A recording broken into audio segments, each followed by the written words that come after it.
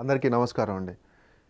ఎక్కడో చైనాలో పుట్టి ప్రపంచాన్ని మొత్తం కబలిస్తున్న ఆ మహమ్మారి వైరస్ వల్ల ప్రభుత్వాలు మొత్తం లాక్డౌన్ విధించిన సందర్భంలో చేయడానికి పని లేక ఆదాయ మార్గాలన్నీ తగ్గిపోయిన ఈ సమయంలో వైరస్ వచ్చి ప్రాణాలు పోతాయేమో తెలియదు కానీ ఆకలి వల్ల మనిషి చనిపోతాడేమో అని చెప్పని అందరూ భయపడుతున్న వేళ. భయపడకండి అధైర్యపడకండి. మీకు నేనున్నాను అని చెప్పనంటూ మానవ సేవే మాధవ సేవ అని చెప్పనే నినాదంతో ముందుకు నడుస్తున్నటువంటి మా ఎక్సీసీ మెంబర్ సి వెంకట గోవిందరావు గారితో ఇప్పుడు మనం ఉన్నాం.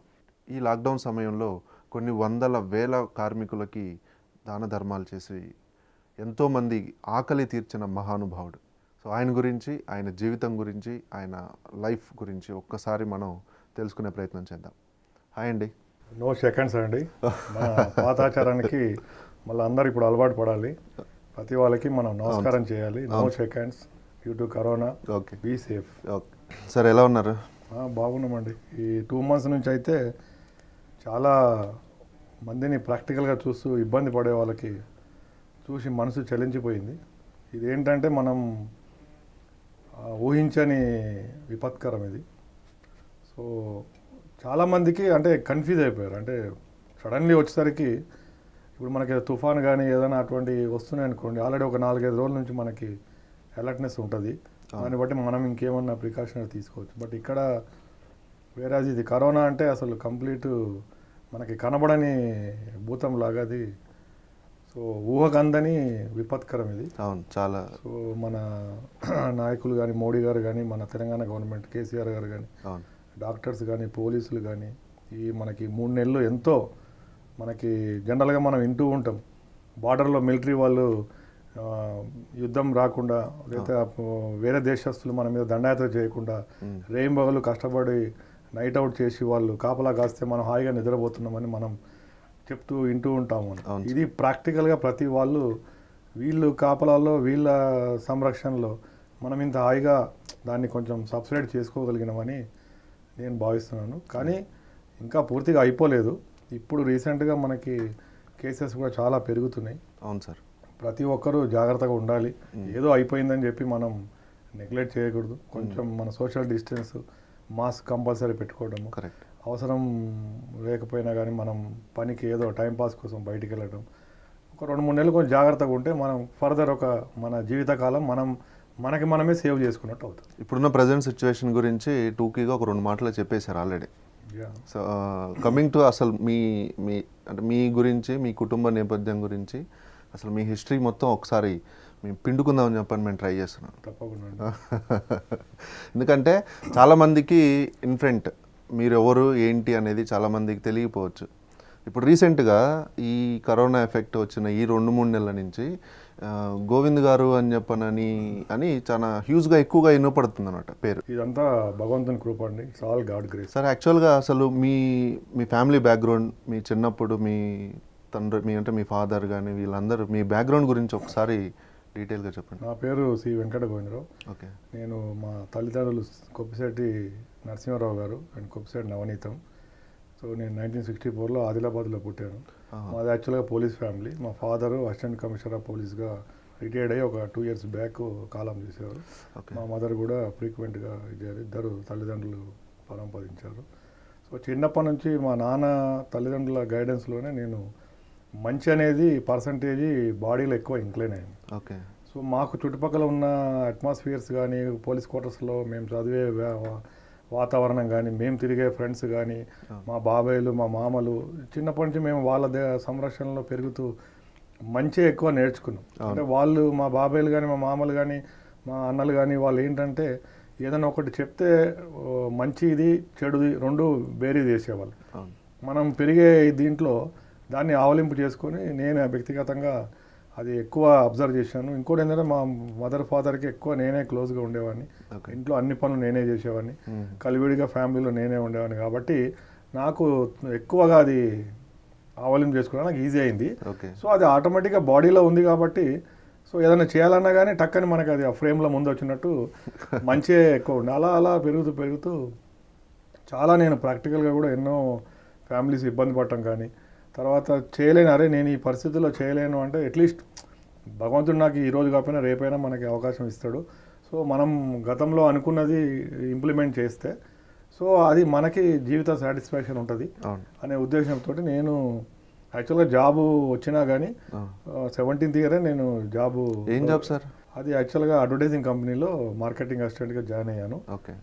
బిఏ నేను political science and public administration complete చేశాను. సూపర్. ఓపెన్ యూనివర్సిటీస్లో నేను ఖమ్మం వరంగల్ మధిరలో స్కూలింగ్ కానీ కాలేజ్ కానీ అయింది. సో కంప్లీట్ పోలీస్ ఆఫీసర్ ఇది కాబట్టి ఎప్పుడెప్పుడు ట్రాన్స్ఫర్ అవుతుంటే పిల్లి పిల్లి అని ఏదో మనం తిప్పుతూ ఉంటుంది ఏడు దగ్గర అట్లా మేము కూడా అన్ని ప్లేస్లో తిరిగాము. సో అన్ని రకాల కల్చర్కి నేను దగ్గరయ్యి అలవాటు పడి దాంట్లో మ్యాక్సిమం మంచి తీసుకొని అలా గ్రో అయ్యాను. సో నైన్టీన్ ఎయిటీ నైన్లో నేను లవ్ మ్యారేజ్ చేసుకున్నాను. మా మిస్సెస్ నిమ్స్లో పిఆర్ఓ నాకు కొడుకున్నాడు సాయి నితేష్ అని పేరు. సో వాడు నవ్వు ఇప్పుడు ఎయిర్ ఏషియా ఎయిర్లైన్స్లో కమర్షియల్ పైలట్గా జాబ్ చేస్తున్నాడు. సూపర్. సో నేను జాబ్ చేస్తూనే ఒక జాబ్ చేస్తే ఒక శాలరీ వస్తుంది అది తీసుకెళ్ళాలంటే మా అమ్మ నాన్న అది పోలీస్ ఆఫీసర్ ఫ్యామిలీ కాబట్టి జీతం మీద బతికేది కాదు కదా. ఆ జీతం తీసుకొని నేను ఎవరికి ఇవ్వాలి? మా అమ్మోళ్ళు కూడా నీ ఖర్చుకే పెట్టుకోరా అని చెప్తే నాకు అప్పుడు కూడా థాట్ వచ్చింది. అరే ఇట్లా ఆ డబ్బులు నేను కూడా పెట్టుకొని ఏం చేయాలి? All facilities are there quarters కానీ ఫుడ్ కానీ ఇవన్నీ జనరల్ ఫెసిలిటీస్ అన్నీ అదే పోలీస్ అడ్మినిస్ట్రేషన్లో వస్తుంది. సో ఇట్లా ఆలోచన వస్తే సరే why can't we start business నాకు ఆ కేపబిలిటీ ఉన్నప్పుడు మనం ఒక పది మందికి ఎందుకు ఉపాధి కలిగించొద్దు అని చెప్పేసి మల్టిపుల్ యాక్టివిటీస్ లాగా నేను రియల్ ఎస్టేట్ కానీ కన్స్ట్రక్షన్ యాక్టివిటీస్ కన్సల్టెన్సీ అలా చేసుకుంటూ బిజినెస్ ఇప్పుడు స్టాఫ్ ఒక యాభై నుంచి అరవై మంది స్టాఫ్ నా దగ్గర వర్క్ చేస్తున్నారు. సూపర్. సో వాళ్ళని నా ఇంటి మనుషుల్లాగా చూసుకొని వాళ్ళకు కూడా అదే చెప్తాను నేను. ఏదన్నా మంచితనంగా ఉండండి మీరు. మోసం చేసి మనం ఏదో సంపాదించాలి వీని మోసం చేయాలి వానికి ఇది చేయాలని ఎటువంటి ఆలోచనలు పెట్టుకోవద్దు. ఏమున్నా ఫేస్ టు ఫేస్ సూపర్. అది చేసుకుంటూ పోతే ఏమవుతుందంటే మీకు కూడా మీ ఫ్యామిలీస్ మంచిగా ఉంటాయి. మనం తెల్లారులేస్తే మోసపూరిత ఆలోచనలతోటి వాడిని ఇది చేయాలి అది చేయాలని ఉంటే భగవంతుడు హర్షించాడు. కరెక్టే సో మీరు ఎదగలేరు అంతగానే ఆటోమేటిక్గా నాకున్న అట్మాస్ఫియర్ తోటి.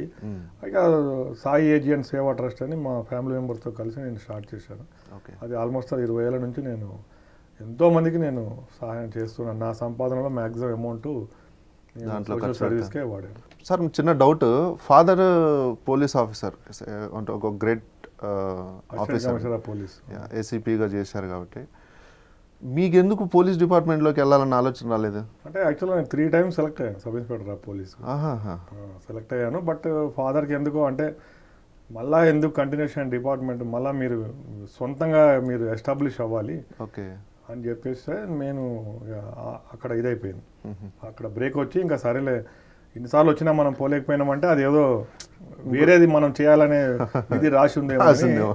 So I shifted to this and I'm happy మా నాన్నగారి మీద నాకు ఎటువంటి కోపం లేదు. ఎందుకంటే is our godfather father and godfather guide also మా మదర్ కానీ మా ఫాదర్ కానీ ఎప్పుడైనా మంచి చెయ్యి చెడుని దాచుకో అని చెప్పిండ్రు సో ఈ టైంలో మీకు అసలు సినిమాలోకి చేయాలన్న ఇంట్రెస్ట్ ఎప్పుడు ఎక్కడ ఎలా బీజం పడింది? నేను స్కూల్లో ఉన్నప్పుడే నేను ఫ్యాన్సీ డ్రెస్సెస్ వేయటము డ్రామాలు వేయటం. Drama artist from sixth class. Super. So నేను యాక్చువల్గా ఎక్కడ పెళ్ళిళ్ళకి పోయినా ఎక్కడ పోయినా మిమిక్రీ చేయటము డ్యాన్సులు చేయటము వాళ్ళు ఏదో ఇస్తే ఆ దాంతో పిపర్మెంట్ కొనుక్కొని సంతోషపడటం. అలా చేస్తున్నప్పుడు మా మదిరలో హై స్కూల్లో కె. సత్యనారాయణ గారు అని క్లాస్ టీచర్ ఉండేవాళ్ళు. Okay.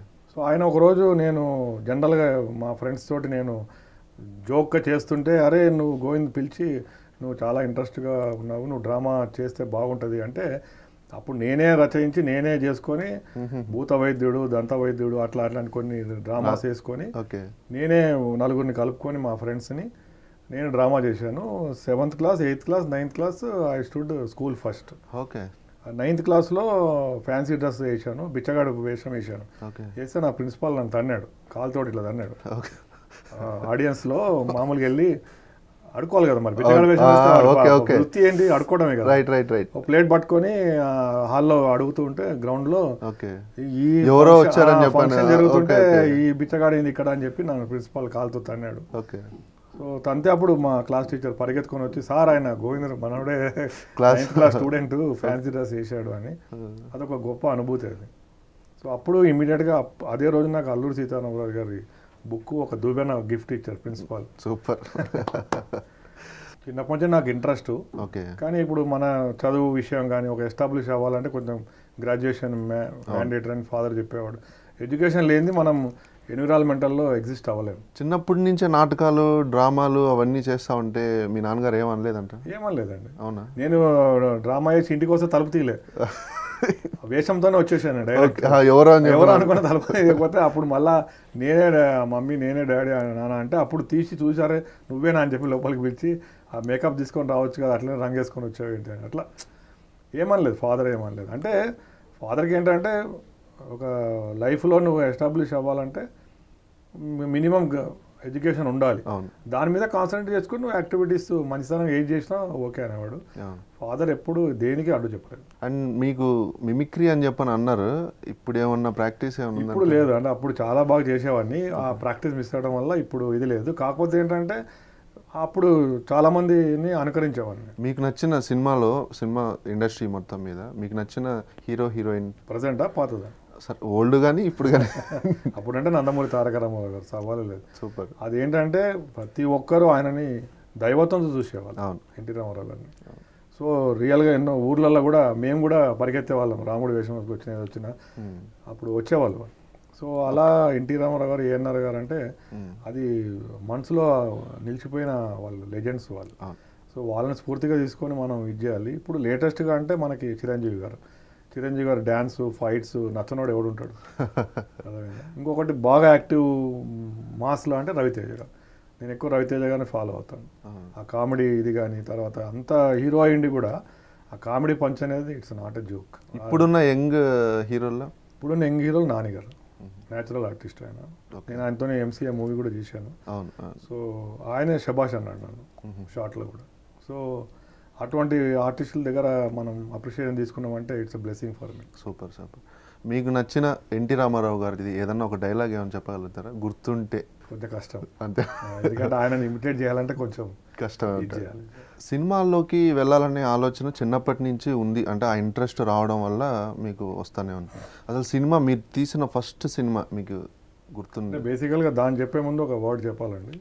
Sure sure childhood almost twenty years నాకు ఫ్రెండ్షిప్ గుంటూరు అంజీబాబు గారు. ఓకే. ఆయన డైరెక్షన్ డిపార్ట్మెంట్లో ఉన్నాడు సినిమాలు తీశాడు ప్లస్ ఇప్పుడు డైరెక్షన్ ప్యానల్లో కూడా ఈసీ మెంబర్గా ఉన్నాడు. Okay. Is my best friend in my life okay. So అతనే ఈటీవీ టూలో వర్క్ చేసేటప్పుడు నేరాలు ఘోరాలు అనే సీరియల్ నడిచేది గారు బ్యాక్. వాయిస్ తోటి.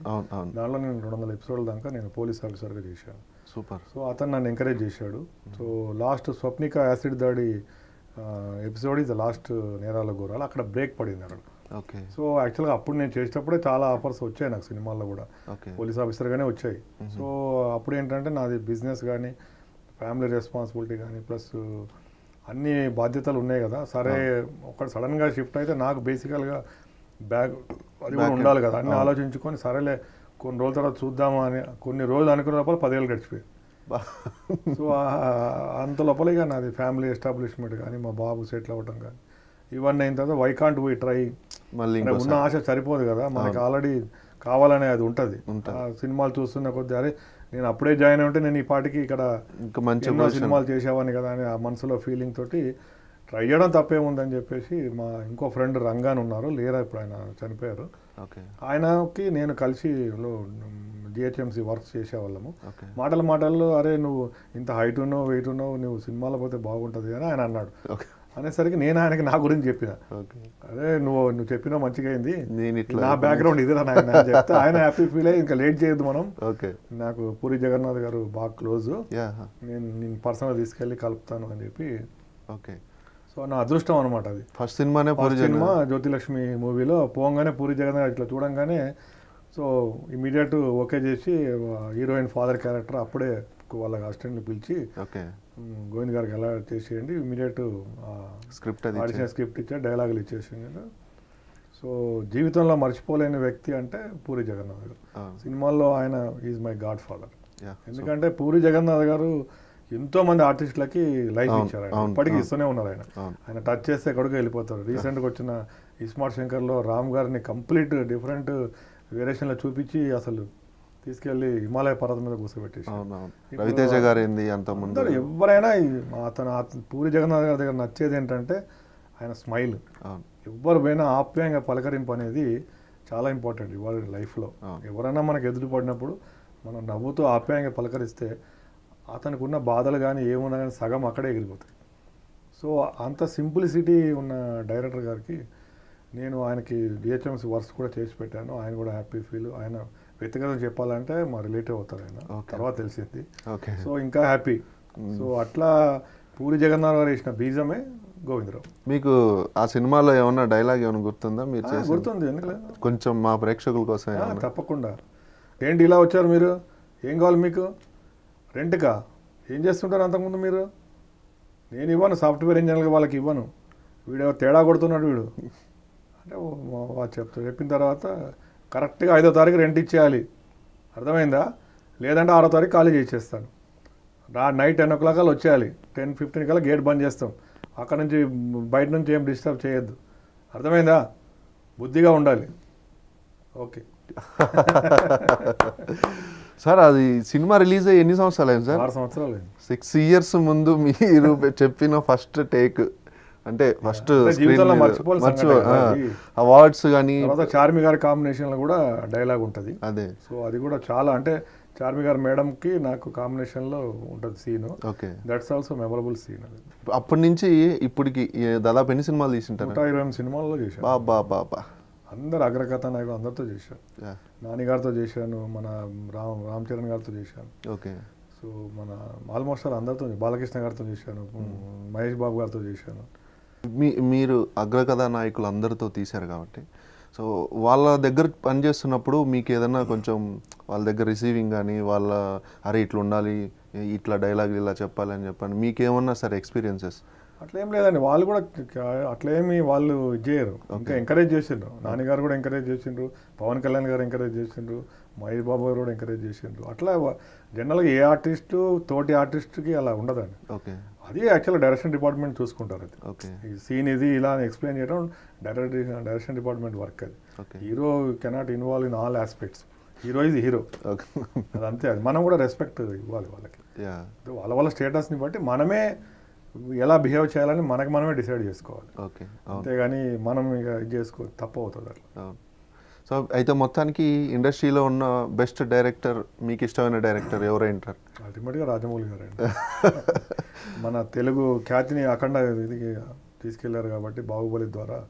ఆయన అంటే నాకు చాలా ఇంట్రెస్ట్. రావు రాజమౌళి గారు బాహుబలి టూలో నేను చేశాను కానీ. ఎలివేట్ అవ్వలేదు. But I'm happy. రాజమౌళి గారు నీడలో కొంచెమన్నా ఒక నాలుగు రోజులు షూటింగ్ చేశాననే. సాటిస్ఫాక్షన్ నాకు ఉంది. ఎక్కడ అంటే మన పట్టాభిషేకం సీన్లో నేను సామంతరాజుగా సో యాక్చువల్గా డేట్స్ కూడా చాలా అడిగారు. అంటే వాళ్ళ కోఆర్డినేటర్స్ కానీ అడిగారు కానీ ఆ టైంలో నేను వేరే మూవీ చేయడం వల్ల కొంచెం ఇదైంది. బట్ ఒక్కరోజు చేసినా రాజమౌళి గారి దగ్గర అది అది ఆ satisfaction అనమాట. సాటిస్ఫాక్షన్ ఇస్ ఎంటైర్లీ డిఫరెంట్ అవును. సినిమాలో క్యారెక్టర్ రావాలి అంటే ఖచ్చితంగా అంత ముందు చేసిన అన్ని పట్టుకొని ఆఫీసుల చుట్టూ తిరిగి తిరగాలి తిరగాలి అని చెప్పని ఒక టాక్ అయితే ఉంది సో మీకు సినిమాలు ఎలా అప్రోచ్ అయినాయి? అంటే నేను ఇప్పుడు ఏదైనా కొత్త సినిమా స్టార్ట్ అవుతుందంటే మనం కొంతమంది కోఆర్డినేటర్స్ నాకు హెల్ప్ చేసే వాళ్ళు ఉన్నారు. ఓకే. సో వాళ్ళు ఇంటిమేట్ చేస్తే నేను ఫొటోస్ తీసుకున్నా అది ఎవరు ఎంతైనా వెళ్ళాల్సిందే అది. సిస్టమ్ అలా మనకి ఫ్రేమ్ అయినప్పుడు నేనేం అతిథుని కాదు అది. సో మనం వెళ్ళి అమ్మ అడగందే అమ్మాయినా అన్నం పెట్టదు. అన్నట్టు. మనం పోయి మన గురించి చెప్తే వాళ్ళు ఆడిషన్స్ చేసి సో ఇది ఓకే ఈ క్యారెక్టర్కి ఈయన ఎలిజిబుల్ అవుతాడు అనే ఉద్దేశంతో ఉంటే డెఫినెట్గా తీసుకుంటారు. నేను కూడా ఎన్నో ఆఫీసులు తిరిగాను. అందరూ మంచితనంగా ఎంకరేజ్ చేశారు. కోడర్స్ కూడా చాలా హెల్ప్ చేశారు. డైరెక్టర్స్ కూడా హెల్ప్ చేశారు. సో ఇట్స్ గుడ్ అంటే మీరు ఇప్పుడు చేసిన క్యారెక్టర్ ఆర్టిస్ట్ అన్నిటిలో కల్లా మీకు బాగా నచ్చింది.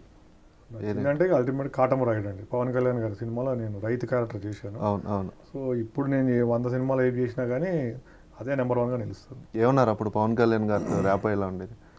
Pawan Kalyan is power star Pawan Kalyan ఆయనతోని అక్కడ మహేష్ బాబు గారితో కానీ మన పవన్ కళ్యాణ్ గారితో మన రామ్ చరణ్ గారితో అట్లాంటి పెద్ద స్టార్తో చేసేటప్పుడు ఆ ఫీలింగ్ అనేది డిఫరెంట్ ఉంటుంది.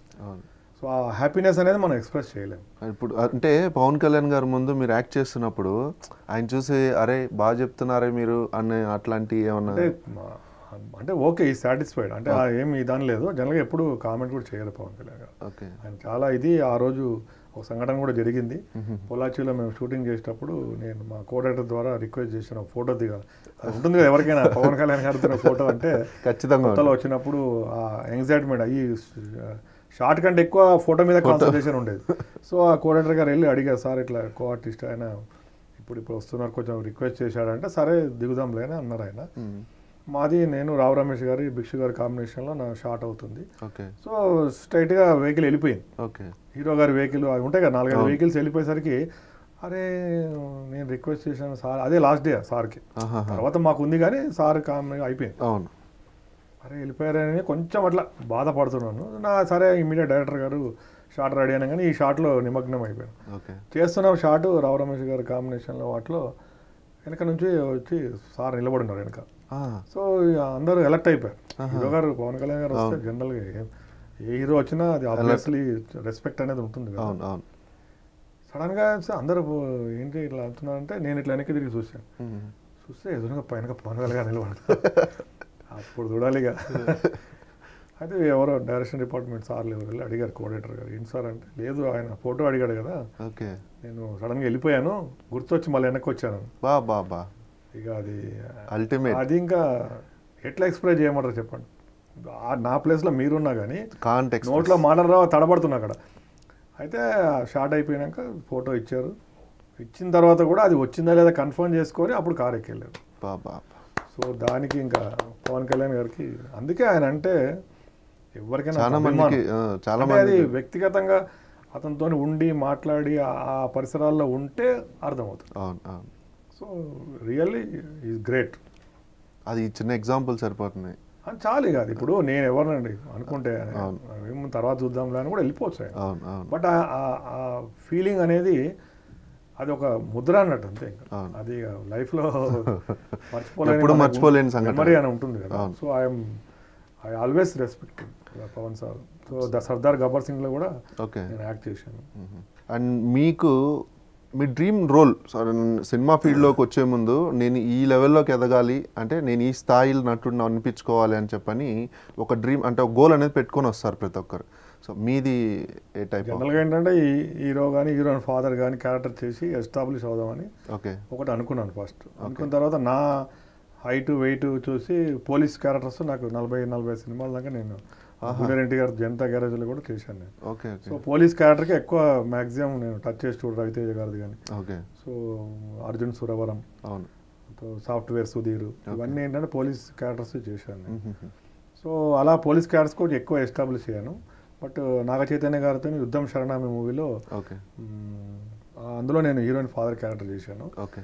సో దాంట్లో నాకు వస్తుంది ఎలివేట్ అయిపోతా అనుకున్నాను నేను. ఓకే. బట్ ఆ సీను మాంటేజ్ షాట్లో ఇదైంది. Okay, so I'm happy so father characters ఎక్కువ లావణ్య త్రిపాఠి మేడం. అవును. ఫాదర్ క్యారెక్టర్ చేశాను నేను. సో సెకండ్ మూవీ కూడా నేను లావణ్య త్రిపాఠి గారి అర్జున్ సురవరం చేశాను. సో దాంట్లో నేను పోలీస్ ఆఫీసర్ ఆ మేడం హీరోయిన్ సో అందులో కూడా నేను హ్యాపీ ఫీల్ అయ్యాను. ఓకే. సో బేసికల్గా ఏంటంటే ఒక villain character full. Length villain character కోసం వెయిట్ చూస్తున్నాను. ఓకే. సో మనకి ఏంటంటే అవకాశం వస్తే మనది ప్రూవ్ చేసుకుంటే ఆటోమేటిక్గా కాలమే తీసుకెళ్తాం. అట్లా అంటే ఒకటి మనం యాజ్ ఏ క్యారెక్టర్ ఆర్టిస్ట్గా ఏ క్యారెక్టర్ ఇచ్చినా చేయాలి. అవును. నేను ఇదే చేస్తాను కూర్చుంటే కాదు కదా. అంటే స్టోరీని బట్టి ఆ డైరెక్షన్. వాళ్ళు డిసైడ్ చేసింది. వాళ్ళు చెప్పింది మనం ఇచ్చేయాలి. అవును. అంటే ఏదో ఒక డ్రీమ్ రోల్ అని నేను ఇప్పుడు రాజమౌళి గారి సినిమాలో ఇది చేస్తే బాగుంటుంది పూరి జగన్నాథ్ సినిమాలో ఈ క్యారెక్టర్ చేస్తే బాగుంటుంది అని చెప్పని కొన్ని గోల్స్ అనేవి ఉంటాయి కొన్ని. ఈ కొన్ని క్యారెక్టర్స్ ఇది హీరో. అని హీరోయిన్ ఫాదర్ క్యారెక్టర్ ఒక ఎస్టాబ్లిష్మెంట్ ప్లస్ విలన్గా చేయాలని. అదే. సో మెయిన్ విలన్గా చేయాలని. సో మెయిన్గా అయితే ఫుల్ లెంత్ విలన్గా చేయాలని విలన్గా చేస్తే ఎందుకంటే ఇప్పుడు మన తెలుగు ఇండస్ట్రీస్లో కూడా విలన్స్ ఇది ఉంది. అవును. సో చెప్పలేము. అంటే మన అవకాశం వస్తే మనం ప్రూవ్ చేసుకుంటాం. యా దాన్ని బట్టి మన ఫ్యూచర్ డిసైడ్ అవుతుంది. సో మీకు కొంచెం అంటే మీకు అప్పుడప్పుడు ఏమైనా అనిపిస్తుంది అంటారా? ఫాదర్ పోలీస్ డిపార్ట్మెంట్ బ్యాక్గ్రౌండ్ కాబట్టి సినిమాల్లో కూడా నేను ఎక్కువగా పోలీస్ డిపార్ట్మెంట్ చేస్తున్నాను. Real police. ఫాదర్ ఏమో పోలీస్ డిపార్ట్మెంట్ మీరేమో సినిమా ఫీల్డ్ మరి మీ అబ్బాయి ఏంటండి? రెండింటి కాకుండా వేరే ఫీల్డ్లోకి వెళ్ళిపోయారు. అంటే అతని ప్యాషన్ ఇప్పుడు ప్రతి వాళ్ళకి ఒకటి అవ్వాలని కోరిక ఉంటుంది. అవును. సో యాజ్ ఎ పేరెంట్గా నేను వాడికి వాని డ్రీమ్ నేను ఫుల్ఫిల్ చేసిన. సో అతనికి యాక్చువల్గా క్రికెటర్ వాడు. క్రికెట్ ఆడేవాడు అండర్ నైన్టీన్ నేను కూడా క్రికెట్ కోచింగ్ చేశాను ఆమె cricket player also okay so NTR స్టేడియంలో ఇందిరా పార్క్ దగ్గర క్రికెట్ కోచింగ్ చేసేవాను ఐఎమ్ మల్టిపుల్ యాక్టివిటీస్లో ఉంటాను నేను. ఎప్పుడు ఒకదాని మీద ఎప్పుడు ఆధారపడాను నేను. వర్సటైల్ యాక్టర్ అసలు అన్ని చేస్తుంటాను. సో అప్పుడు అతను బెంగళూరు ట్రిప్స్కి వెళ్ళినప్పుడు కూడా చాలామంది వచ్చి అతన్ని హీరోగా ఆఫర్ అడిగారు. ఓకే బట్ వాడికి అంత ఇంట్రెస్ట్ లేదు. ఓకే చూద్దాం. ఎనీ టైం ఈమె ఎంట్రీ మీ అర్ధాంగి మీ భార్య తన సపోర్ట్ ఎలా ఉండేది మీకు? హండ్రెడ్ పర్సెంట్ అండి. ఇప్పుడు నా ఫ్యామిలీ నుంచి నేను ఇలా ఉన్నాను ఆరోగ్యంగా ఆనందంగా ఆహ్లాదంగా ఉన్నానంటే ఓకే. నా భార్య కారణం. అవును. అన్నిట్లో నాకు వెన్నండుగా ఉండి ఎందుకంటే ఏ విషయమైనా మేము డిస్కస్ చేసుకుంటాం. Okay. Suggestion she will give చాలామంది అంటారు "ఆ, పెళ్ళమ్మట వినాలా అని. సో నేను విని బాగుపడ్డాను. ఓకే. పెళ్ళమ్మట అని వినాలి కంపల్సరీ. ఎందుకంటే she's half part of our life. మన బాడీలో హాఫ్ పార్ట్ లైఫ్లో కూడా అర్థంగానే ఎందుకంటారు? సో తప్పేం లేదు దాంట్లో. అంటే యాజ్ పర్ మై ఇది పర్సనల్ ఫీలింగ్ ఇది so she's educated okay. B Com LLB చేసింది. నిమ్స్లో పిఆర్ఓగా చేస్తుంది. మంచి ఆలోచన విధానం. She's a good administrator also నా ఆఫీస్లో కూడా ఏమన్నా అడ్మినిస్ట్రేటివ్ పాయింట్స్ ఉంటే కూడా నేను డిస్కస్ చేస్తాను. ఓకే ఫైనాన్షియలీ డిస్కస్ చేస్తాను. ఓకే సో ఏమున్నా మనం మన మిస్సెస్ తోటి డిస్కస్ చేయడంలో తప్పులేదు చాలా విషయాల్లో నాకు సపోర్ట్గా ఉండి సజెషన్స్ ఇచ్చింది. ఈవెన్ మా బాబు కూడా ఇవి మంచి అడ్వైస్ ఇస్తాడు. ఓకే మంచి సజెషన్స్ ఇస్తాడు. అంటే చిన్న మేము కొంచెం ఎంక్వైరీ చేసిన దాంట్లో మీ ఆఫీస్లో ఆ, పనిచేస్తున్నటువంటి ఎంప్లాయీస్ కూడా ఎక్కువ మంది లాంగ్ జర్నీ మీతో పాటు చేసి వచ్చి ఉన్నోళ్ళు ఉన్నారు అని చెప్పని అంటే మీరు వాళ్ళని ట్రీట్ చేసే విధానానికి వదిలి వెళ్ళిపోవాలి అన్న ఆలోచన రాదు అని చెప్పని అంటుంటారు. సో వాళ్ళతో ఎలా అంటే అంత మమేకంగా ఉండాలి అని చెప్పని ఎలా మీకు? అదే అండి మనం పెరిగిన నైజం మనకున్న అలవాట్లు అది భగవంతుడే మనల్ని మంచిగా చూసుకుంటాడు. ఆ ఆలోచన విధానాన్ని అనుసరించడానికి భగవంతుడు ప్లాట్ఫామ్ వేసేస్తాడు. ఓకే. సో అది భగవంతుడు టెస్ట్ చేస్తాడు. అంటే వీనికి అవకాశం ఇచ్చి చూద్దాం. సో వీడు అన్నాడు. చేస్తాడా? లేకపోతే నేను డబ్బు కుదరంగానే వీడు మారిపోతాడా? చాలా మంది అంటారు అందరినీ ఒకలాగా ఎందుకు చూస్తావు నువ్వు? అవును. నేను అంటాను భగవంతుడు అతన్ని అక్కడ పుట్టించాడు మనల్ని ఇక్కడ పుట్టించాడు. దీంట్లో డిఫరెన్స్ ఏముంది? కరెక్ట్. వాడు నా డ్రైవర్ అంటే చదువుకోలేదు వాడు ఫ్యామిలీ బ్యా దాని గురించి డ్రైవర్గా జాయిన్ అయ్యాడు. అంత మాత్రాన వాడు మనిషి కాకుండా పోడు కదా. Correct. We should see opposite person as a human yes అతని స్థితిగతుల్ని బట్టి అతను ఉంటాడు నా స్థితిగతిని బట్టి నేను ఇలా ఉన్నాను. ఇంకో అతను బిజినెస్ చేస్తాడు ఇంకో లారీ నడుపుతాడు ఇంకో జీప్ నడుపుతాడు ఇంకో బంగారం వ్యాపారం చేస్తాడు. ఇట్స్ డిపెండ్స్ ఫ్యామిలీ ఎలా పుట్టి పెరిగి అలా అట్మాస్ఫియర్ పెరిగి అలా ఎలా ఉంటారో అలా పెరుగుతూ ఉంటారు. అవును. నేను ఇలా పెరిగాను కాబట్టి నేను ఇలా ఉంటాను. దట్ ఈస్ నా నైజం అది. ఎవరికైనా నేను చెప్పేది ఏంటంటే అందరూ బాగుండాలి అందులో మనం ఉండాలి. అటువంటి ఆలోచన ఉంటే తోటి వారికి సహాయం చేయాలనే ఆలోచన పెట్టుకోవాలి. పెట్టుకుంటే అదే దైవత్వం. అదే దైవత్వం. మన. భగవంతుని ఎవరు చూడలేదు. మన విల్ పవరే మన గాడ్ అవును. ఆ విల్ పవర్లోనే అది ఉంటుంది. అవును. సో నేను ఏదన్నా కాన్ఫిడెంట్గా చేస్తాను. కాన్ఫిడెంట్గా వెళ్తాను నేను. ఏది ఆలోచించాను నేను. God is there okay go ahead okay అంతే. అది ఇప్పుడు నా దగ్గర పనిచేసే వాళ్ళు కూడా ఇరవై సంవత్సరాల నుంచి అవును వాళ్ళకు కూడా ఏంటంటే అన్ని ఫెసిలిటీస్ కల్పించినాం. అవును. జీవితంలో ఇలా ఉండాలి. ఇలా ఉంటే మీ ఫ్యామిలీ బాగుంటుంది. మీ ఫ్యామిలీ బాగుంటే నువ్వు హెల్దీగా వర్క్ చేస్తావు. నువ్వు హెల్దీగా వర్క్ చేస్తే ఆర్గనైజేషన్ ప్రాస్పరిటీ వస్తుంది. ప్రాస్పరిటీ వస్తే నీకు బెనిఫిట్ అవుతుంది. అవును. అది ఎవ్రీ త్రీ మంత్స్ రివ్యూ ఉంటుంది. ఓకే. సో నీకు ఆర్గనైజేషన్ వల్ల ఏం కష్టం ఉంది? ఓకే. నీ వల్ల ఆర్గనైజేషన్కి ఏం కష్టం ఉంది? అవును. సో మేము మీటింగ్ ఆర్గనైజ్ చేస్తాం నేను ఓకే. సో అదేంటంటే ఒక షార్ట్ టర్మ్లో నీది బయటపడుతుంది. అవును. షార్ట్ టర్మ్లో మేము రెక్టిఫై చేసుకోవాలి అనుకుంటాను అవును. సంవత్సరాలు అలా గడిచిపోయిన తర్వాత వాడు కుమిలిపోయి కుమిలిపోయి కుమిలిపోయి లోపల లోపల నెగిటివిటీకి వెళ్ళిపోతాడు. అవును కరెక్ట్ సో ఎవ్రీ త్రీ మంత్స్కి మేము రివ్యూ మీటింగ్ అని ఉంటుంది. ఆ రివ్యూ మీటింగ్లో అందరూ మాట్లాడాలి. ఎవరు నేను మాట్లాడడానికి వీల్లేదు. అందరూ మాట్లాడతారు. ఓకే. బాధలు చెప్పుకోవాలి బాధలు తీర్చాలి. ఆర్గనైజేషన్ పరంగా ఏమైనా తీర్చేది ఉంటే ఇమీడియట్ మేము దాన్ని రెక్టిఫై చేస్తాం. ఓకే. చేసేస్తాం. నేను ఏదైనా సెకండ్స్లో డిసిషన్ తీసుకుంటాం. Yeah. No problem. And coming to మీరు ఇందాక అన్నారు సహాయం సేవా కార్యక్రమాలని. సో మీకు సేవ చేయాలని సహాయం చేయాలి అవతల వాళ్ళకి మనం చేయాలి అని చెప్పని ఎప్పుడు అనిపించింది? అంటే నేను సిక్స్త్ క్లాస్ సెవెంత్ క్లాస్లో ఉన్నప్పుడు ఒకసారి పార్టీ అయింది మా ఇంట్లో. ఫాదర్ పోలీస్ ఆఫీసర్ కాబట్టి. అవును. డిఫరెంట్ ఆఫీసర్స్ భోజనాలకు వస్తుంటారు. హై గ్రేడ్ ఆఫీసర్స్ అందరు వస్తుంటారు. జనరల్గా ఒక ఎక్కడైనా డిస్టిక్ లెవెల్ నుంచి డిఎస్పీ లెవెల్కి వచ్చినప్పుడు మా పోలీస్ క్వార్టర్స్లోనే డిన్నర్ అవుతుండే ఓకే. సో ఒకరోజు డిన్నర్ అయినప్పుడు అనుకోని కారణాల వల్ల ఒక ఇరవై మందికి వండితే పది మందే వచ్చారు. ఓకే. సో పది మంది వస్తే మేము ఫ్యామిలీ తినంగా కూడా కొంచెం మిగిలింది. ఓకే. అవును. మిగిలితే మా ఫాదర్ డ్రైవర్ని పిలిచి ఇదంతా ప్యాక్ చేసి తీసుకెళ్ళి డిస్ట్రిబ్యూట్ చేసిరా అన్నాడు. సూపర్.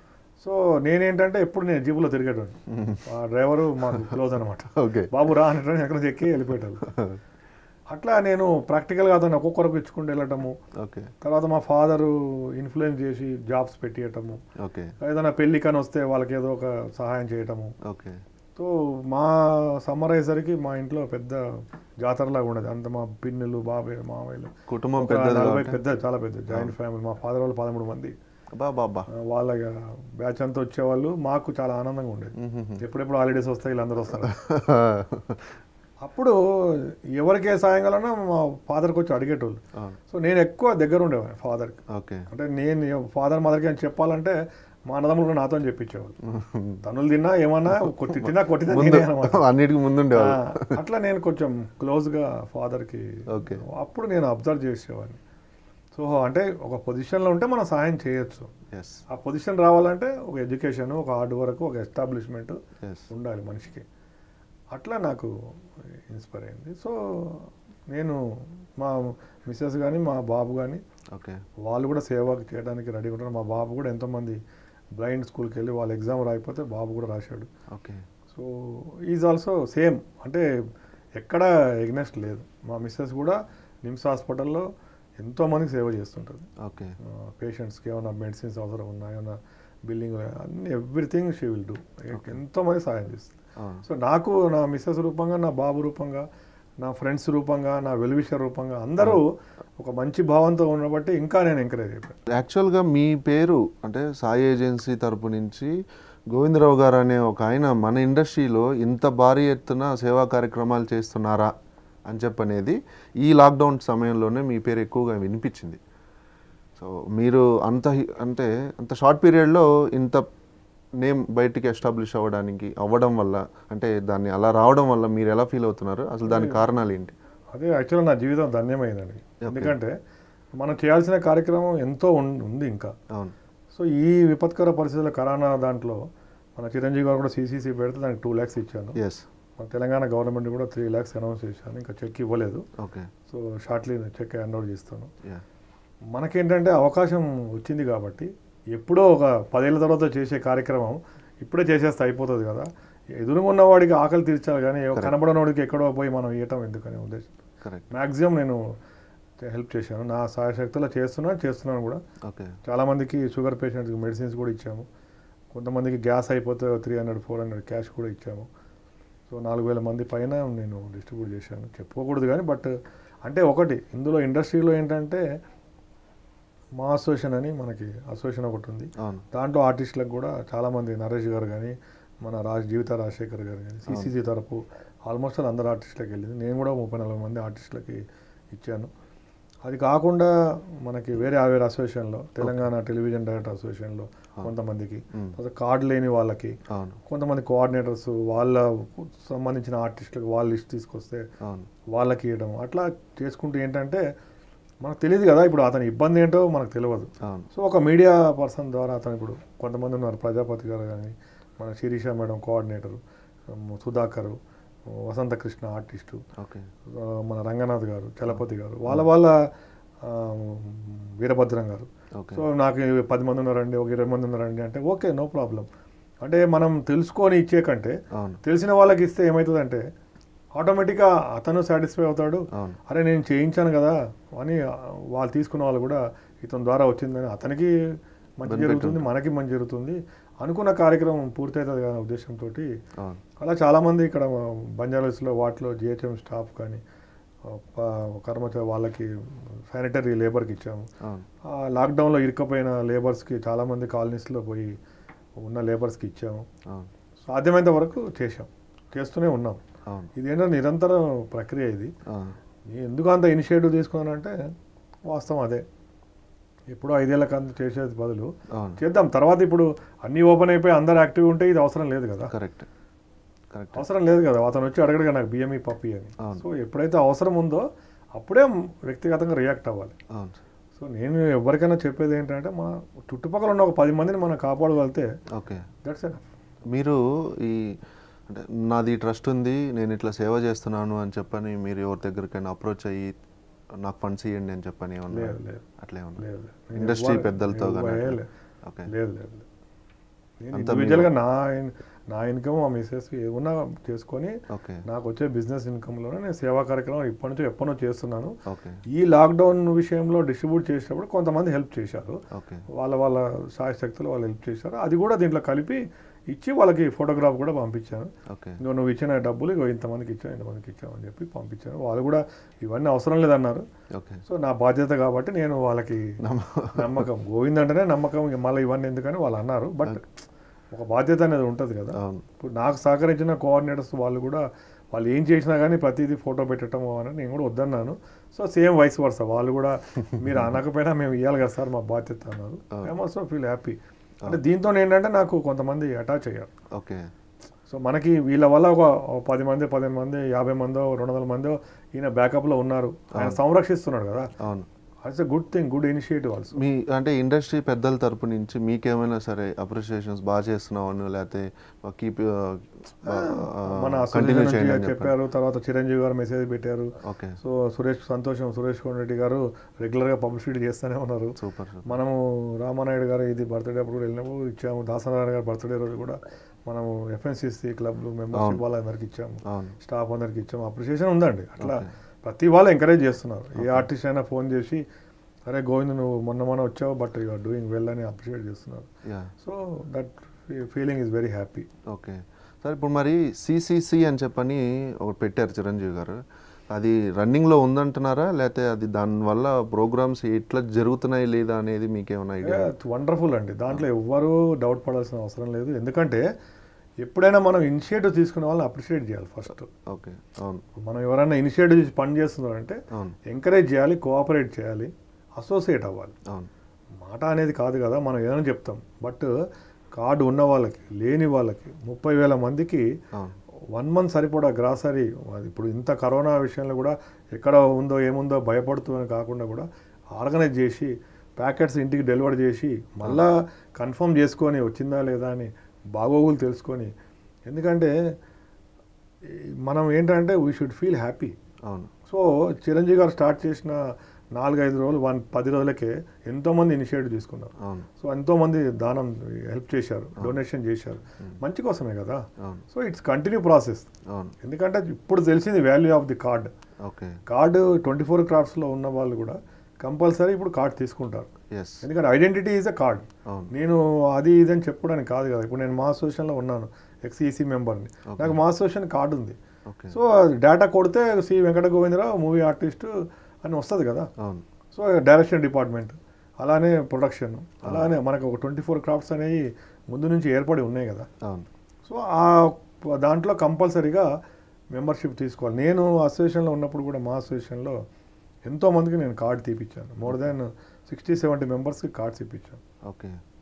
వాళ్ళకి ఇంపార్టెన్స్ ఆఫ్ ది కార్డ్ చెప్పాలి మనం. ఓకే. ఏ ఫీల్డ్ అయినా అంతే. ఇప్పుడు చాలామంది మనం షూటింగ్స్లలో కూడా చూస్తుంటాం. ఓకే. వస్తుంటారు తప్పులేదు దాంట్లో. ఆ ఫ్యాషన్ తోటి వాళ్ళ ఇంట్రెస్ట్ తోటి వస్తారు. దానికి మనం తప్పడానికి లేదు. కానీ విధానం ఇదని చెప్పాలి. ఇప్పుడు మీ మాటల్లో కార్డు లేదు అని చెప్పని అనుకున్న వాళ్ళకి కార్డు కోసం ఎవరైతే వెయిట్ చేస్తున్నారో అసోసియేషన్ మొత్తం సినిమా ఇండస్ట్రీలో ఎవరికైతే కార్డు వెయిట్ కార్డు కోసం ఎవరైతే వెయిట్ చేస్తున్నారో వాళ్ళకి మీరు చెప్పే సలహా ఏంటి? అంటే ఇప్పుడు యాక్చువల్గా ఈ కరోనా వచ్చినప్పుడు సీసీసీ స్టార్ట్ చేసినప్పుడు కూడా సో పెద్దలందరూ కూడా సినీ పెద్దలు వాళ్ళంతా ఒక డిస్కషన్ చేశారు. అది నేను పార్టిసిపేట్ చేయలేదు కానీ తెలుసు. బట్ ఈ తర్వాత వాళ్ళు ఎక్స్ప్రెస్ చేస్తారు.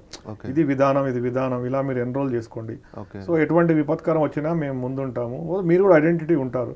మీరు కూడా part of the film fraternity అని కళామ తల్లి బిడ్డలను తెలవడానికి కూడా మీకు దానివల్ల ఉపయోగం ఏంటి సార్? కార్డు ఉండడం వల్ల ఉపయోగం ఏంటి ఐడెంటిటీ అండి. ఉపయోగం అని కాదు కదా. ఇప్పుడు తెలిసింది కదా వాల్యూ. ఓకే. ఇప్పుడు చాలా మంది నాకు కాల్స్ చేస్తుంటారు. సార్ మాకు కార్డులు లేవు మాకు ఎవరు ఇస్తలేరు అంటే. ఓకే. సో నువ్వు ఎంతకాలం నుంచి యాక్టింగ్ చేస్తున్నావు? కరెక్ట్.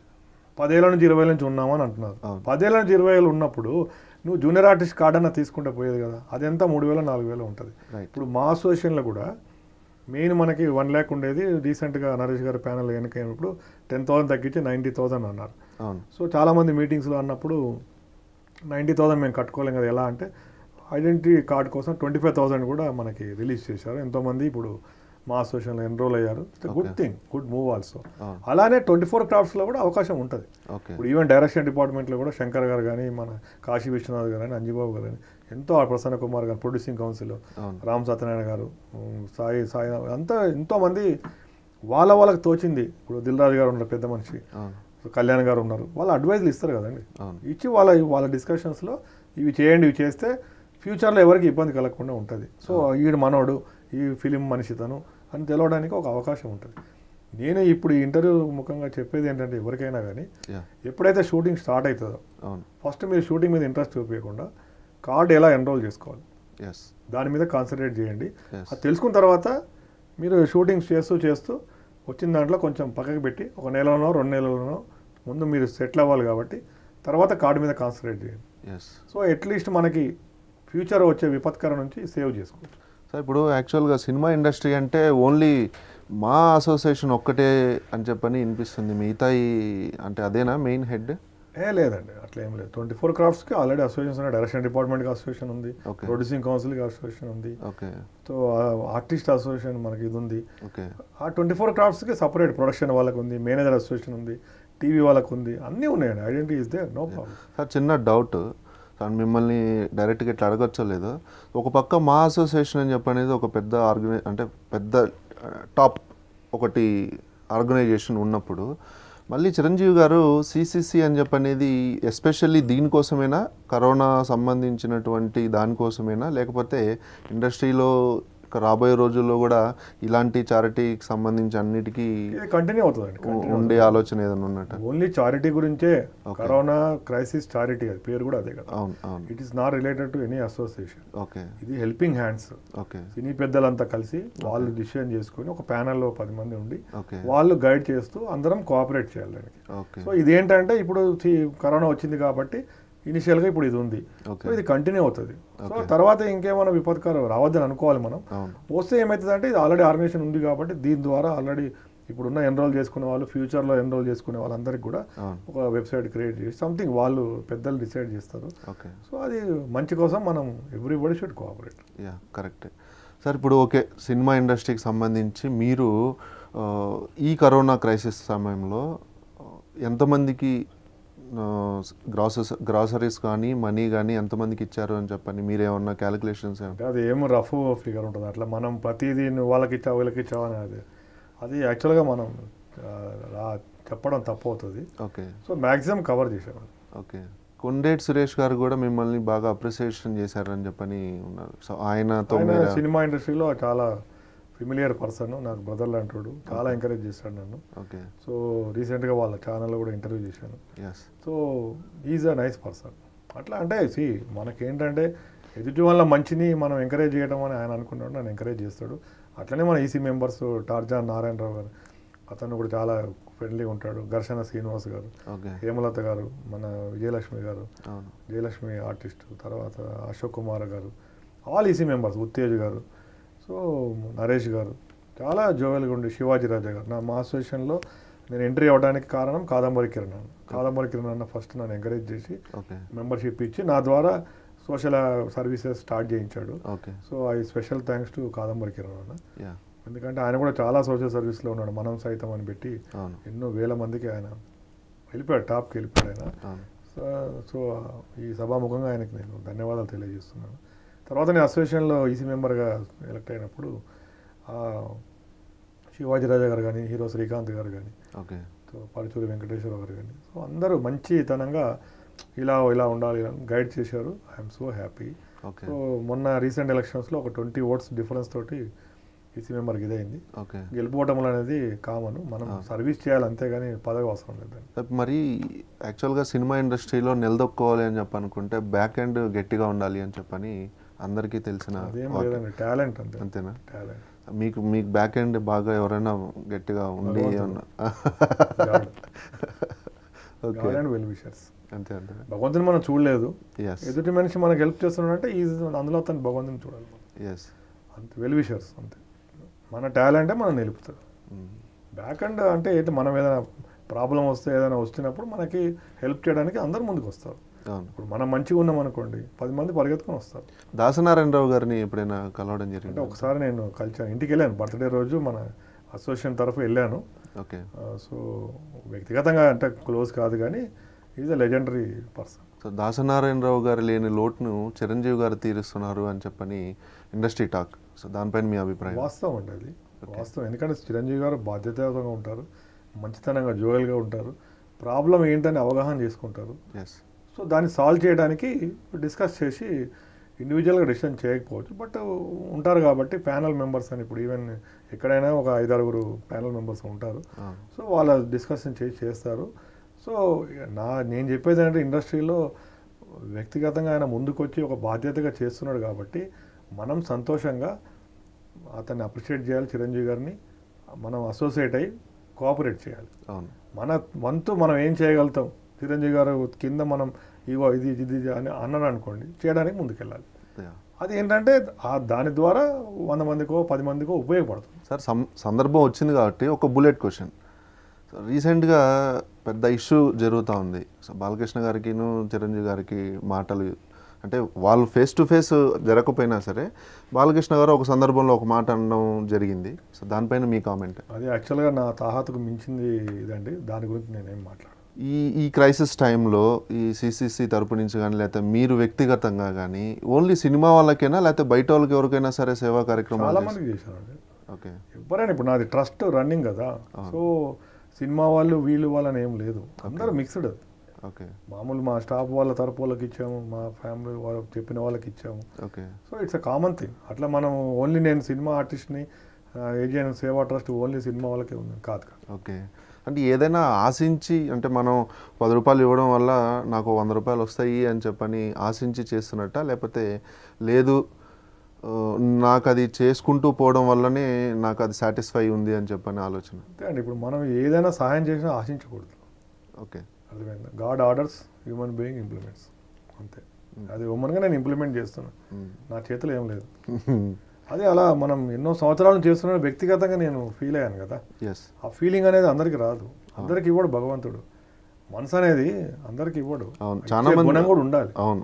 అది డెవలప్ చేసుకుంటే దాంట్లో ఉన్న ఆనందము అనుభూతి దానికి ఉండే ఇది అనేది అది వ్యక్తిగతంగా ఫీల్ అవ్వాలి. నేను ఇప్పుడు ఎక్స్ప్రెస్ చేస్తే తెలుసుకునేది కాదు మీ అంటే మీలాంటి వాళ్ళు ఎవరైనా సరే చెయ్యాలి అని చెప్పని అనుకున్నా సరే హెల్ప్ చేయాలని చెప్పని అందరికీ ఉండొచ్చు కానీ ఒక ప్లాట్ఫామ్ దొరకపోయి ఉండొచ్చు.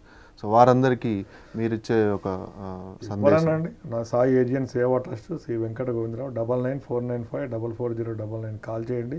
నాది అకౌంట్ నెంబర్ కూడా ఉంది. ఐసిఐసి బ్యాంకులో అకౌంట్ ఉంది. ఎవరన్నా ఒకవేళ వాళ్ళు నేమ్ తెలుసుకోకూడదు అని చెప్పకూడదు నేను సాయం చేయాలనుకుంటే మా అకౌంట్లో ఇవ్వండి. లేదు డబ్బు రూపంగా ఇవ్వండి వస్తు రూపంగా ఇవ్వండి.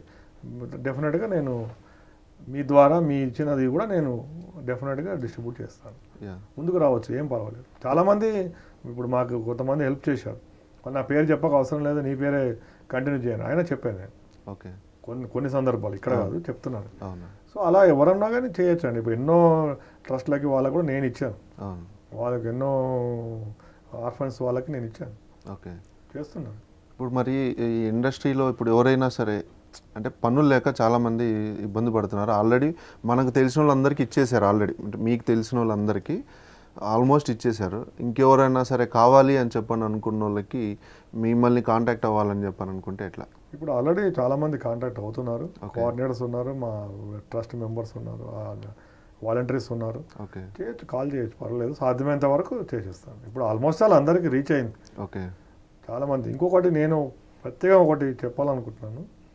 ఎవరైనా ఎవ- మనం ఇస్తున్నప్పుడు వేరే వాళ్ళని నిందించొద్దు. అతను చేయలేదు ఇతను చేయలేదు నువ్వు చేస్తున్నావు అనకూడదు. ఇంకొకటి డబల్ తీసుకోకూడదు. తీసుకున్న వాళ్ళే తీసుకోండి తీసుకున్న వాళ్ళే తీసుకుంటే లేని వాడికి చేరదు కదా. కరెక్ట్ ఇప్పుడు మనం సాటిస్ఫై అవ్వాలి. అవును.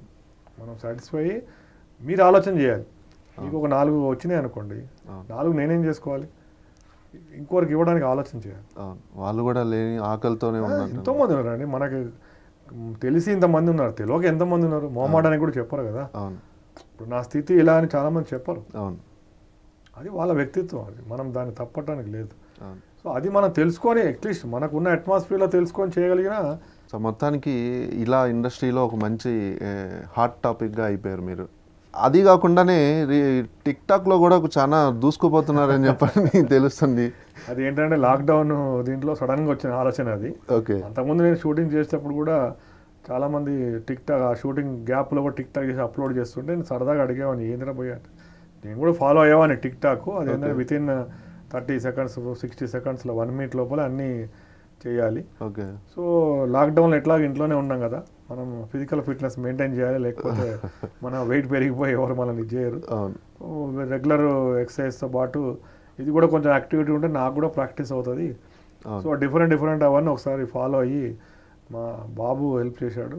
బాబును మా కాబోయే కోడలు హెల్ప్ చేసింది. ఓకే. సో దాంతో జస్ట్ ఒకసారి చేసి చూద్దాం ఎట్లుందని ఫస్ట్ మహేష్ బాబు గారు చేశాను తర్వాత. అన్ని హీరోస్తో కాపీ చేసి చేశాను టిక్ టాక్లో కూడా నన్ను అభిమానించారు. సో ఇప్పుడు రీసెంట్గా పెట్టిన వీడియోకి సిక్స్ లాక్స్ వ్యూవర్స్ వచ్చాయి. ఓ super super. So thirty thousand followers ఉన్నారు. ఓకే. లైకింగ్ కూడా థర్టీ ఫైవ్ ఫార్టీ థౌసండ్ ఉన్నారు. సో ఎవ్రీ మూమెంట్లో వీడియోస్ ఎందుకు పెట్టలేదని కాల్ చేస్తుంటారు. ఒకరోజు లేట్ అయితే. అయితే ఇప్పుడు నేను మామూలుగా నా ఇంట్రెస్ట్ కోసం స్టార్ట్ చేశాను కానీ ఇప్పుడు పబ్లిక్ కోసం అయిపోయింది. పబ్లిక్ కోసం నాలుగైదు వీడియోలు చేసి రెడీ పెట్టుకోవాల్సి వస్తుంది. సో ఇట్స్ అంటే మనం యాక్టివ్ ఉండడానికి ఏదో ఒకటి చూస్ చేసుకోవాలి. అంటే డల్ అయిపోయినాం అనుకోండి. సైకలాజికల్గా కూడా ఎన్విరాన్మెంటల్ కూడా డల్ అవుతుంది సో ఆల్వేస్ మనం హ్యాపీగా ఉండాలి. ఎదుటివాడు సంతోషంగా ఉండాలని కోరుకోవాలి. అది కావడానికి మనకి అట్మాస్ఫియర్ క్రియేట్ చేసుకోవాలి. కష్టపడాలి. నిజాయితీగా ఉండాలి దైవత్వం ఉండాలి. అది ఉంటే ఆటోమేటిక్గా అట్మాస్ఫియర్ క్రియేట్ అయిపోతుంది. అయితే ఇప్పుడు మిమ్మల్ని చూసి చాలా నేర్చుకోవాలి అని చెప్పని అనుకునే వాళ్ళు చాలామంది ఉంటారు. వాళ్ళకి మీ అంటే మీరు ఇచ్చే మంచి మంచి సలహాలు జీవితంలో ఇట్లా ఎదగాలి ఇలా ఉండాలి అని చెప్పని అనుకునే వాళ్ళకి మీరు ఇచ్చే సజెషన్స్? ఫస్ట్ పాయింట్ తల్లిదండ్రులను గౌరవించాలండి. ఎస్ తల్లిదండ్రులని ఫాలో అవ్వాలి. ఎందుకంటే నీకు జన్మనిచ్చిన తల్లి. అవును. అర్థమైందా? తల్లి కడుపు చూస్తుంది తండ్రి కెరియర్ చూస్తాడు. సో చాలామంది ఇప్పుడున్న సొసైటీలో సొసైటీలో తల్లిదండ్రులని చాలామంది నెగ్లెక్ట్ చేస్తున్నారు. మనం ఎన్నో చూస్తుంటాం. అవును. సో వ్యక్తిగతంగా నేను చెప్పేది ఏంటంటే తల్లిదండ్రులకి రెస్పెక్ట్ ఇవ్వండి. వాళ్ళు చెప్పింది ఫాలో అవ్వండి. ఒక గోల్ ఒక గోల్ నిర్ణయించుకోండి. సో ఇది మనం ఎదిగిన తర్వాత ఇది చేయాలి. ఈ ఒక జాబ్ కానీ ఒక బిజినెస్ కానీ ఒక ఎస్టాబ్లిష్మెంట్ మీరు పది మందికి ఉపాధి ఇచ్చేటట్టు. అటువంటి ఎన్విరాన్మెంటల్ క్రియేట్ చేసుకోవాలి. ఎందుకంటే మనకి ఇప్పుడున్న గవర్నమెంట్స్లలో కానీ సెంట్రల్ గవర్నమెంట్ కోఆపరేట్ చేసేటి కానీ ఎన్నో స్కీమ్స్ ఉన్నాయి. సాఫ్ట్వేర్ కానీ హార్డ్వేర్ కానీ ఇండస్ట్రీస్ కానీ బిజినెస్ కానీ చాలా ఓపెన్ అయిపోయినాయి. ఇంతకుముందు మేము కష్టపడి చేసుకోవాల్సి వచ్చాయి ఇప్పుడు బటన్ నొక్కితే అన్నీ వచ్చేస్తాయి. సో అటువంటిది ఏంటంటే మనం ఇప్పుడు ఆన్లైన్ కానీ స్మార్ట్ ఫోన్స్ వల్ల ఈ యూట్యూబ్లు కానీ ఇవన్నీ వచ్చినప్పుడు గూగుల్ పే ఇవన్నీ వచ్చినప్పుడు ఏంటంటే దాన్ని మంచిగా వాడాలి. మంచితనానికి దాన్ని బేస్ చేసుకోవాలి. అంతేగాని దాంట్లో మనము నెగిటివిటీని డెవలప్ చేసుకొని ఈ ఆన్లైన్ మోసాలు కానీ సైబర్ క్రైమ్స్ కానీ.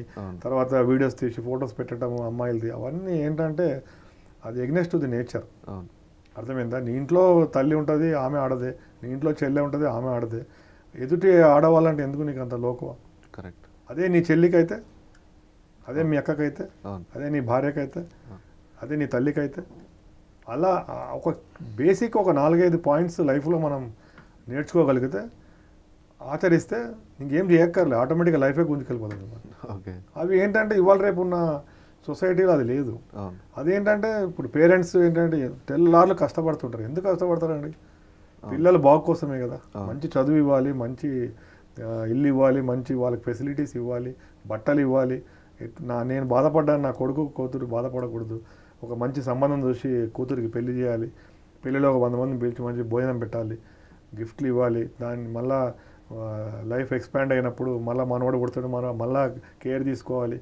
సో జీవితాంతం అవును. వెన్నంటి ఉండేవాళ్ళ తల్లిదండ్రులు. అవును.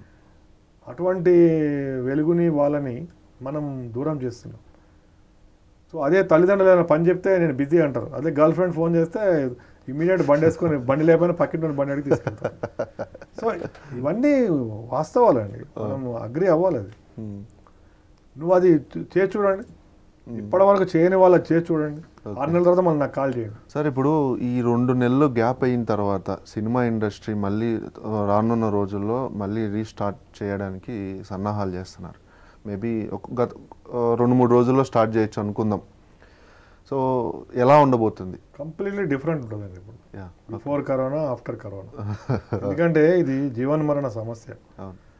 మనకేంటంటే ఇప్పుడు ఏదైనా జ్వరం వచ్చినా లేదో మనకి డయాలసిస్ కానీ క్యాన్సర్ కానీ సమ్ ఇంకేదైనా ఉంది అంటే అది మనం ఒక అనలైజేషన్ మీద వెళ్తాం. అవును. ఇది అనలైజేషన్కి అతీతంగా ఉంది. అవును. ఎవరు వాళ్ళకి పాజిటివ్ ఉందా నెగిటివ్ ఉందా మనం చెప్పలేము. సో ఇప్పుడు షూటింగ్ స్టార్ట్ అయినప్పుడు ఇవన్నీ చూసుకోవడానికి రెండు రోజులు పడుతుంది. సో ఇవన్నీ అంటే కొన్ని కష్టం. సో అందుకని ఏంటంటే మెయిన్ కంటెంట్ బయటికి రావడానికి డైరెక్షన్ సార్ డైరెక్టర్స్ కానీ తర్వాత ప్రొడక్షన్ వాళ్ళు కానీ ప్రొడ్యూసర్ వాళ్ళు కూర్చొని ఒక ఆలోచన విధానం ఇంతలాగా క్రౌడెడ్ ఉండకపోవచ్చు. బట్ అటువంటి సీన్స్ చేయాల్సి వచ్చినప్పుడు. తగు జాగ్రత్తలు తీసుకొని. సో ఎవ్రీ వన్ అవర్ కొంచెం బ్రేక్ ఇచ్చి దాన్ని మళ్ళీ అన్ని శానిటైజ్ చేసుకొని. కొంచెం కేర్ తీసుకొని కష్టపడైనా సినిమా అంటేనే కష్టాలు. సో. కష్టపడైనా సినిమా తీస్తారు. సో మళ్ళా పూర్వ వైభవం వస్తుంది. కొంచెం ఓపిక ఉండాలి అంతే. అవును. అంటే ఇప్పుడు ఇవాళ రేపు జనరేషన్కి ఏంటంటే ఏదైనా ఫాస్ట్గా అయిపోవాలి ఈ రోజు ఈరోజు అయిపోవాలి అయిపోవాలి అయిపోవాలి. అట్లా కాకుండా మనము అవగాహన చేసుకోవాలి. ఇప్పుడు ఇండియాలో కానీ ఎక్కడైనా కానీ ఈ కరోనా వైరస్ గురించి చాలామంది అవగాహన లేదు. ఇప్పుడు పదే పదే గవర్నమెంట్స్ కానీ మనకి తెలంగాణ గవర్నమెంట్ కానీ జగన్ గారి గవర్నమెంట్ కానీ మోడీ గారు కానీ ఎవరైనా కానీ. తెలిసిన వాళ్ళు ఇట్లా సోషల్ డిస్టెన్స్ హ్యాండ్ వాష్ చేసుకోండి మాస్క్లు వేసుకోండి అంటే కూడా నాకు మాస్క్ వేసుకుంటే ఎలర్జీ అవుతుంది నాకు సోషల్ డిస్టెన్స్ నేను చేయను. ఇవన్నీ అంటే ఏమవుతుందంటే ఒకరు చేసిన తప్పుకి ఎంతో వందల మంది బలవ్వాల్సి వస్తుంది. అవును. సో మీరు కేర్ తీసుకుని ఆటోమేటిక్గా పక్కన వాడు భయపడతాడుగా? అవును. మీరు చెప్పొచ్చు కదా. సో హ్యాండ్ వాష్ చేసుకో బాబు తప్పే ఉంది. మన కోసమే చెప్పేది. ఎలాగో నువ్వు నాలుగైదు సార్లు చేతులు కడుక్కుంటావు. ఇంకో నాలుగు సార్లు చేతులు ఎక్కువ కడుక్కో. మాస్క్ వేసుకో. కొన్నాళ్ళు అంటే ఇప్పుడు ఇది ఎలా దీన్ని చేయాలనేది మనకి మనమే జాగ్రత్తగా ఉండాలి. అర్థమైందా? ఇప్పుడు ఏదైనా వస్తుందంటే మనం అన్ని తలుపులన్నీ వాన పడుతుందని అన్ని కిటికీలు తలుపులు వేస్తాం. వేసుకో ఒక తలుపులు వేసుకోకపోతే ఇల్లంతా తడిచిపోతుంది ఇది కూడా అంతే.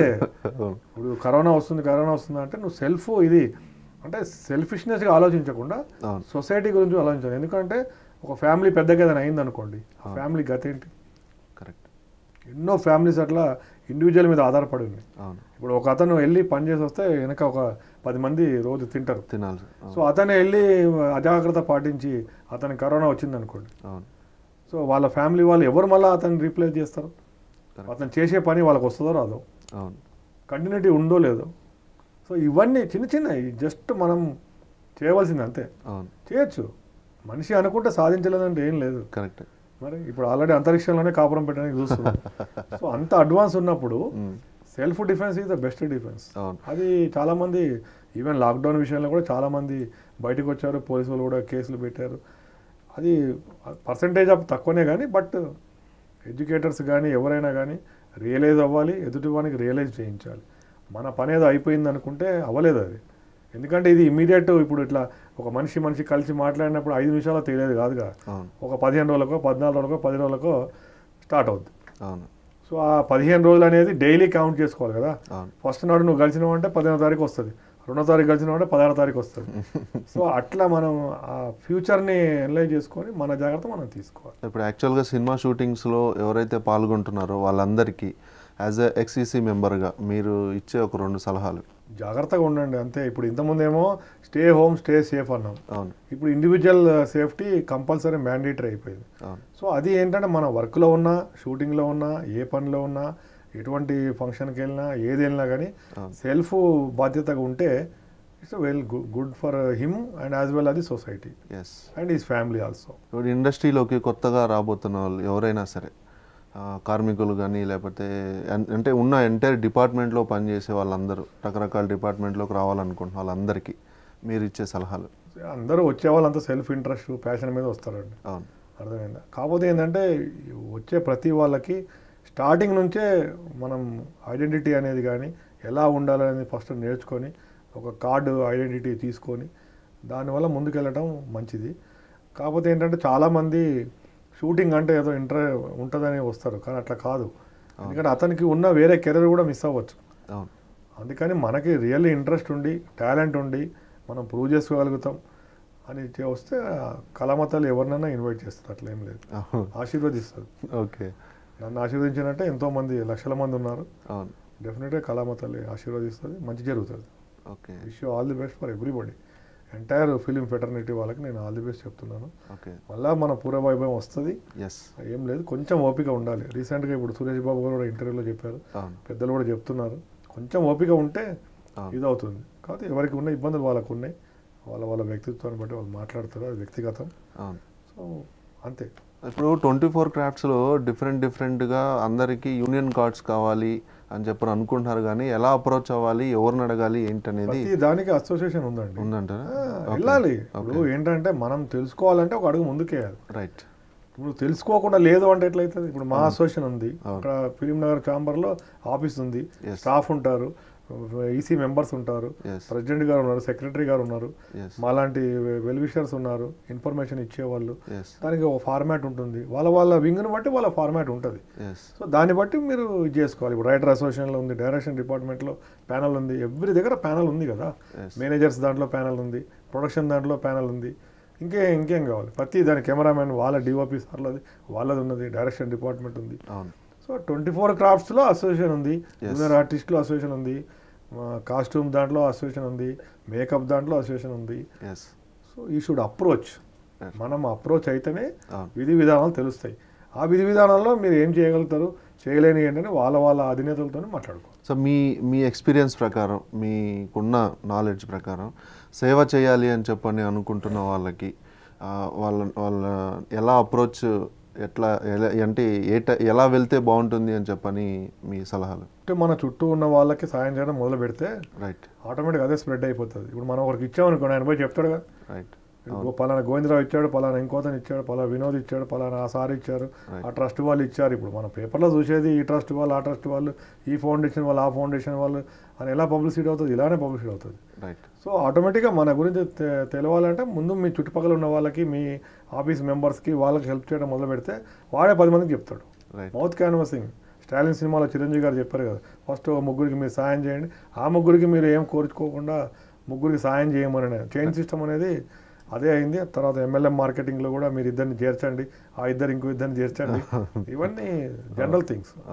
అది ఒకటి చెప్తే కాదండి ఇనిషియేటివ్ తీసుకున్న వాళ్ళకి ఆటోమేటిక్గా వే వచ్చేస్తుంది. నీకు ఆ మనసులో సేవ చేయాలని అంకురార్పణ వస్తే ఆటోమేటిక్గా భగవంతుడు ఎంటర్ అయిపోతాడు. Sir last but not least so కాబోయే కోడలు అన్నారు. సో అంటే పెళ్ళి ఎప్పుడు చేద్దామని ఎవరు ఏంటి ఆ డీటెయిల్స్ ఇప్పుడు ఈ కరోనా డిసెంబర్లో అనుకున్నాము.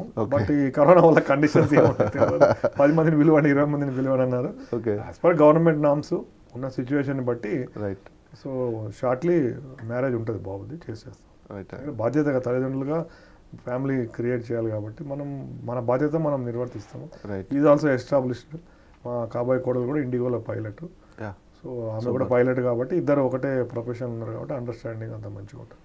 రైట్ సో ఆ విధంగా we are ready any time ready sir ఇప్పుడు సేవా కార్యక్రమాలు చేశారు సినిమాల్లో చిన్న చిన్న క్యారెక్టర్స్ చేసుకుంటూ వస్తున్నారు. ఇంకా రాబోయే రోజుల్లో ఏమన్నా డైరెక్షన్ డిపార్ట్మెంట్లో కానీ లేదంటే ఏమన్నా ప్రొడక్షన్ డిపార్ట్మెంట్లోకి ప్రొడ్యూసర్గా ఏమన్నా మారే ఆలోచనలు ఏమన్నా ఉన్నాయంటారా? లేదండి ఎంటైర్ క్యారెక్టర్ ఆర్టిస్ట్గా నేను ఎస్టాబ్లిష్ అయ్యాను. ఓకే నా లైఫ్ క్యారెక్టర్ ఆర్టిస్ట్గానే ఉంటాను. రైట్ ఎందుకంటే ప్రొడ్యూసింగ్ అనేది అంత ఈజీ జాబ్ కాదు అది. అంటే రెస్పాన్సిబిలిటీ ఇది ప్లస్ అది ఫైనాన్షియల్లీ కూడా సౌండ్ ఉండాలి. నాకు అటువంటి ఆలోచన లేదండి ఓకే. ఈవెన్ డైరెక్షన్ డిపార్ట్మెంట్ కూడా ఎటువంటి ఆలోచన లేదు. నేను ఒక ఆర్టిస్ట్గా ఎంటర్ అయ్యాను. ఎస్ ఆర్టిస్ట్గానే ఉంటాను. ఎస్ అందరికీ విధేయంగా ఉంటాను వినయంగా ఉంటాను. ఏ క్యారెక్టర్ ఇచ్చినా చేస్తాను. అది ఏమో ఇప్పుడు మీకు సర్కిల్ పెరిగిపోయింది. ఈ రెండు నెలల్లో మీ పేరు మంచి ఎస్టాబ్లిష్ అయిపోయింది. సో దానివల్ల మీరు అంటే ఇండస్ట్రీలో గోవిందరావు గారు అంటే "ఆ, ఓకే ఆయన బాగానే ఉన్నారు అని చెప్పని ఆలోచన అందరికీ వచ్చింది. సో ఇప్పుడు ఈ టైంలో కరెక్ట్ ఏమో మీరు ప్రొడ్యూసర్గా ఒక వెల్ ఎస్టాబ్లిష్డ్ అవ్వడానికి? లేదు. అంటే ఇప్పుడు ఏదైనా ఆర్గనైజేషన్స్ వాళ్ళు వాళ్ళు ఇంట్రెస్ట్ అయ్యి కొంచెం మానిటర్ చేయమంటే డెఫినెట్గా వాళ్ళకి హెల్ప్ చేస్తారు. ఓకే. ఇండివిజువల్గా నేను ఫైనాన్స్ పెట్టి ప్రొడ్యూసర్గా మారే ఆలోచన అయితే లేదు నాకు. ఇంత ముందు కూడా ఏం మా మిసెస్ వాళ్ళకి కూడా చెప్పాను ఎటువంటి ఇది లేదు. నా ఏజ్కి తగ్గట్టు ఒక ఫా లీడ్ రోల్ జడ్జ్మెంట్ అనేది జడ్జిమెంట్ అనేది అది స్టోరీని బట్టి ఉంటుంది. సో ఏమైనా డైరెక్టర్ మీది టోటల్ లీడ్ రోల్ అండి మీ ఏజ్కి తగ్గట్టు ఇది ఉంది అంటే డెఫినెట్గా చేస్తాం. ఇప్పుడు ఆ నలుగురు శ్రేయాభిలాషి అవును. అట్లాంటి క్యారెక్టర్స్ వస్తే అది హీరో అన్నట్టు. అది కూడా హీరోనే కదా. ఎస్ నట కిరీటి రాజేంద్ర ప్రసాద్ గారు ఆయన ఆయన యాక్టింగ్ కానీ ఆయన కామెడీ కానీ ఎదురింటి మొగుడు పక్కింటి పిల్లం సినిమా నేను ఒక వంద సార్లు చూస్తాను చూసి పంచ్. అలాంటి రోల్స్ వస్తే ఖచ్చితంగా చేయొచ్చు హండ్రెడ్ పర్సెంట్ ఆర్టిస్ట్ అన్న తర్వాత డెఫినెట్గా యాక్సెప్ట్ చేయాలి. నాకు ఇంట్రెస్ట్ ఉంది కాబట్టి నేను కామెడీగా నేను రాణిస్తాను ఏమో అని అనుకుంటున్నాను. ఖచ్చితంగా రానిస్తారు బట్ అవకాశం రావాలి కదా. టిక్ టాక్లో చూస్తున్నాం కదా టిక్ టాక్ అనేది ఓన్లీ వన్ మినిట్ నిడివేది సినిమా అనేది మూడు గంటలు ఏదన్నా సార్ రానున్న రాబోయే రోజుల్లో మీరు అనుకుంటున్న మీ డ్రీమ్ రోల్ మంచి full length villain role and అలాగే మంచి హీరోయిన్ ఫాదర్గాను మంచి క్యారెక్టర్ రావాలని చెప్పని మనస్ఫూర్తిగా కోరుకుంటూ అండ్ మీరు ఇలాంటి సేవా కార్యక్రమాలు నాట్ ఓన్లీ ఫర్ ఒక సీజనల్ వైజ్గా అని కాకుండా ప్రతి నెల ప్రతిరోజు ఒక పది మందికి ధైర్యం గుండె ధైర్యంగా గోవిందరావు గారు ఉన్నారు అని చెప్పని ఆ స్థాయిలో ఉండడం అనేది చాలా it's not an joke so రాబోయే రోజుల్లో మీరు ఇంకొక పది మందికి పది మందికి నుంచి వంద మందికి మీరు సేవా కార్యక్రమాలు విస్తరించాలని మనస్ఫూర్తిగా కోరుకుంటూ సినిమా ఫీల్డ్లో కూడా మంచి రోల్స్ చేయాలని చెప్పని చేస్తారని చెప్పని ఆ భగవంతుడు ఆశీస్సులు మీకు మీ కుటుంబానికి ఖచ్చితంగా ఉండాలి ఉంటాయి అని చెప్పని కోరుకుంటూ సెలవు తీసుకుంటున్నాను చాలా థ్యాంక్స్ అండి. ఈ ఛానల్ వాళ్ళకి కానీ ఇంటర్వ్యూ చేసిన మీకు కానీ అందరూ చల్లగా ఉండాలి. అంతా మంచి జరుగుతుంది. భగవంతుడి మీద భారం వేసి మనం ధైర్యంగా ఉండి విల్ పవర్ మెయింటైన్ చేయండి. God bless all thank you thank you sir for more updates like comment subscribe to our channel hey darlings గంటని click చేయడం మర్చిపోకండి.